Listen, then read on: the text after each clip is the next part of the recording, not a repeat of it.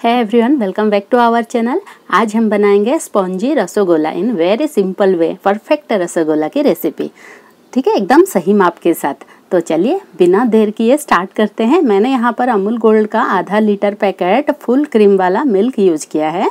दूध में दो तीन बार बॉईल आ जाए तो उसमें 15 एम विनेगर आधा कप पानी में मिलाकर मिक्स कर देंगे। और ये पानी को दूध में थोड़ा थोड़ा करके डालेंगे, फिर दूध में स्टर करते रहेंगे, दूध ताकि फट जाए जल्दी। फिर जब छेना बन जाएगा और उसमें लेमन कलर के तरह पानी दिखेगा तो गैस का फ्लेम बंद कर देंगे और इसे छेना को छन्नी में मलमल का कपड़ा रखकर छान लेंगे।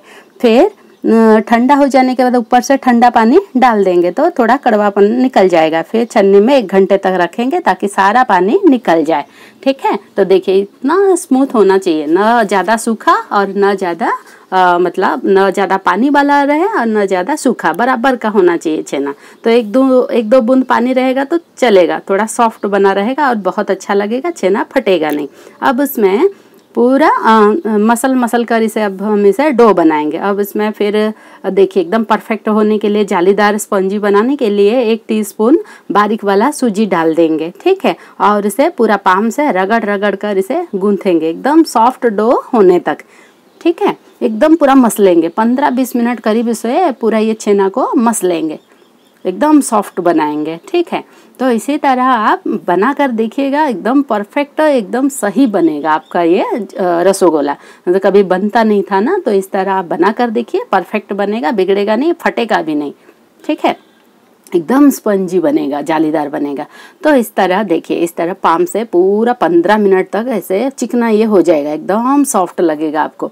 पूरा प्लेट में ऐसा लगने की तरह लगेगा फिर थोड़ा सा ऐसा उठाकर गोल बनाकर देखने का। अगर गोल बन जाता है तो यह परफेक्ट डो बन चुका है। अब उसे पूरा इकट्ठा करके पाँच सात गोले सब बना लेंगे। मतलब पेड़ा बना लेंगे, छेना बनाकर गोल गोल जैसे भी आपको आकार चाहिए, छोटा, बड़ा, उस तरह बनाकर रख लेंगे। तो मैंने थोड़ा बड़ा बनाया है, नींबू के साइज़ का। तो मेरा पाँच छः बन गया है। ठीक है? तो इस तरह इतना ये परफेक्ट होना चाहिए। छेना। ठीक है? एकदम गूंथने का बराबर सा। तो एकदम सॉफ्ट ये होना चाहिए तो परफेक्ट बनेगा। कोई कोई उसमें मैदा डालते हैं तो मैदा डालेंगे तो बराबर नहीं बनता है। तो आप सूजी डालकर देखिएगा, एकदम परफेक्ट बनेगा। तो इस तरह मैंने उस साइड पूरा गोला, पाँच सात गोला ऐसा बना कर रख लिया है। फिर दूसरे साइड में एक बड़े भगोने में सिर्फ़ पाँच कप पानी डाल देंगे मतलब ज़्यादा पानी डालेंगे और उसे पूरा हाई फ्लेम में खूब उबालेंगे। तो उबल जाएगा, एकदम तेज उबाल आ जाएगा। तो उसमें ये सब रसगुल्ला डाल देंगे एक एक करके। फिर इसे चम्मच से अल्टेंगे पलटेंगे नहीं, वरना टूट जाएगा। अपने आप ये हल्का होकर ऊपर तैरने लगेगा। अगर आपका परफेक्ट रसगुल्ला बना है तो उसको स्टार करने की भी ज़रूरत नहीं है। अपने आप ये तैर कर ऊपर आ जाएगा। ठीक है? तो इसी तरह करीब इसे पंद्रह बीस मिनट बॉईल करेंगे, ताकि छेना पूरा अच्छे से पक जाए और एकदम हल्का हो जाए। ठीक है? तो देखिए, इस तरह मैं ऊपर से इसे ढककर भी आप इसे कुक कर सकते हो, ताकि कच्चा बिल्कुल नहीं रहेगा। एकदम स्पॉन्जी बनेगा। तो और दूसरे तरफ़ मैं ये चाशनी बना रही हूँ। तो चाशनी बनाने के लिए एक कप शक्कर ले लेंगे और डेढ़ कप पानी डाल देंगे।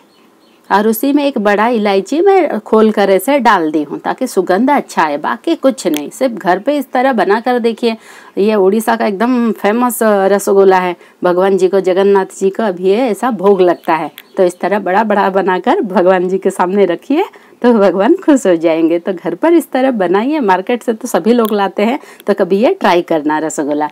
तो देखिए, अभी पंद्रह बीस मिनट हो चुका है और पाँच मिनट बाकी, पंद्रह मिनट हो गया है। तो देखिए कितना सब ऊपर आ गया ना, फूल कर। कुछ इसे करने की ज़रूरत नहीं, अपने आप ऐसे घूम फिर कर ये पूरा हो जाता है। एकदम हल्का हो जाता है, सब मेरा ऐसे ऊपर आ गया है। तो पंद्रह बीस मिनट के बाद ये जब बॉईल हो जाता है पानी में तो फिर ये चाशनी में से छान कर इसको चाशनी में डाल देंगे। और इसे 10 मिनट वहाँ पर चाशनी में मीडियम फ्लेम में या लो फ्लेम में 10 मिनट तक करीब इसे ढककर कुक करेंगे ताकि चाशनी ये रसगुल्ला में एकदम ऑब्ज़र्व मतलब रसगुल्ला चाशनी को ऑब्ज़र्व कर लेगा थोड़ा सा एकदम मीठा रहेगा। ठीक है? तो इसी तरह मैं 10 मिनट ये चाशनी में पकने दूँगी। तो टोटल अपना बीस मिनट और दस मिनट थर्टी या थर्टी फाइव मिनट ये हो जाता है पकने के लिए पर, परफेक्ट होता है। ठीक है? तो देखिए, एकदम फूला फूला जालीदार स्पॉन्जी लग रहा है। एकदम बड़े बड़े हो गए हैं ना? तो अगर छोटा बनाना चाहोगे तो बारह बनेगा, ठीक है? मार्बल के इतना गोटी की तरह बनाओगे तो बारह बनेगा, आधा लीटर दूध में। और बड़ा बनाना चाहोगे तो छः सात बन जाएगा आराम से। तो इस तरह पूरा बनकर रेडी है। अब देखिए, मैं बिल्कुल फटा नहीं, कुछ नहीं, एकदम स्पंजी जालीदार हुआ है। ठीक है?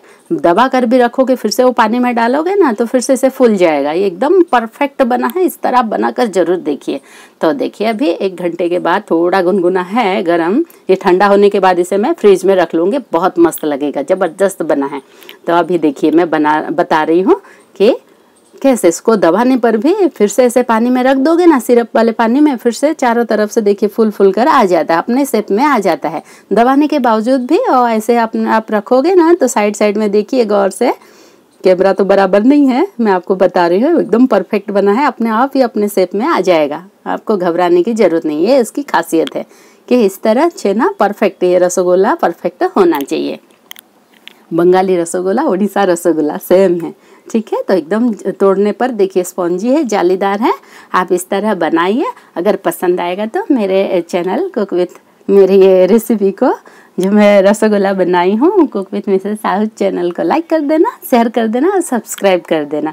अगर ये वीडियो पसंद आए तो हाँ लेकिन ज़रूर ट्राई करना और इसी तरह से, इसी मेथड से आप करोगे तो एकदम परफेक्ट बनेगा। टूटेगा नहीं, कुछ नहीं। बहुत अच्छा बना है फ्रेंड्स अगर आपको भी पसंद आ जाए ये रेसिपी तो ज़रूर ट्राई करना, बनाने की कोशिश करना। आधा लीटर तो दूध है। ठीक है, उसमें आप बनाइए इसी तरह। और किस किस का अच्छे से बना, वो कमेंट करके ज़रूर बताइएगा। एक दो दो, एक दो दिन के बाद। ठीक है?